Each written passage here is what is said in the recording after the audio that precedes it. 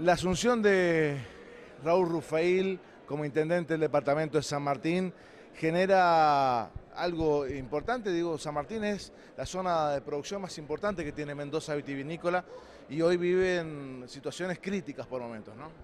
Sí, creo que como toda renovación siempre genera nuevas expectativas. Eh, hemos tenido varias reuniones ya con, Raúl y le hemos explicado que la, la situación vitivinícola, especialmente de esta zona, es ya es terminal, o sea, no, no creemos que tenga mucho retorno y tampoco creemos que él pueda hacer mucho desde el municipio. Él se mostró, digamos, que atento y, dispuesto a trabajar en lo que nosotros necesitemos. Y bueno, seguiremos en esta senda, como se hizo con Jorge, que también se trabajó muy bien, pero como te digo, desde el municipio es muy poco lo que se puede hacer con todo el contexto nacional que tenemos, que es muy malo para nuestra actividad. Eh, tener un vicegobernador como Mario Abed involucrado también directamente y con muchas críticas al sector eh, que lleva adelante, por ejemplo, la COVIAR eh, en, la vitivinicultura, digo, eh, ¿eso va a ayudar a que se pueda crecer en la, en la región? Mira, lo que va a ayudar es que tenemos una persona que maneja un poco más los temas y conoce más la región. Con Mario también hemos estado trabajando, él puede tener un poco más de llegada a nivel nacional. y bueno, como te digo, todos estos cambios generan expectativa y tenerlo a Mario por ahí en un lugar que puede tener llegada y puede tener, digamos, y conoce cómo es el contexto real y quién es quién en la vitivinicultura, creo que puede ser muy importante. Hoy, ¿cómo está el sector de cara a esta nueva vendimia? Y el sector está muy mal, está muy mal porque viene atravesando una crisis de hace más de 5 o 6 años.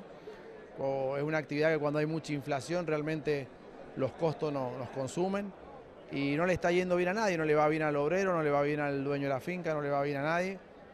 Y se ve una cosecha muy baja, eso puede ayudar a que mejore un poco el precio, pero realmente hoy estamos casi en la tercera parte de lo que tendría que valer un litro de vino para salvar un poco los costos. Y todavía se espera una temporada que todavía falta para la cosecha, ¿no? Donde pueden haber muchas eh, situaciones que complique esta, esta cosecha que se tiene prevista, ¿no?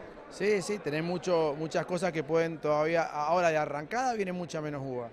Eh, y va seguramente algunas, algunas inclemencias que siempre son históricas hay, y a esto hay que sumarle la poca cantidad de agua que hay y la crisis que la gente no está poniendo los pozos en marcha o muchos tienen el agua cortada. Entonces Creo que esto va a influir mucho en, el volumen total de uva, especialmente de esta zona, que es la principal productora del país.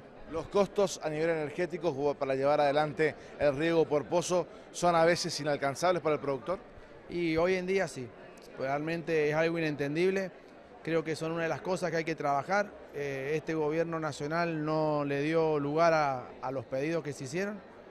Veremos si este otro le da algo de importancia, porque realmente, por ejemplo, una boleta de la luz de Río Agrícola que pague casi el 30% de IVA es una locura. Eh, eh, y un montón de otros impuestos que si vos te pones a ver, más del 50% de la boleta de la luz son impuestos. Y son impuestos que le aplicás directamente a la producción y a un costo muy importante que tiene la actividad.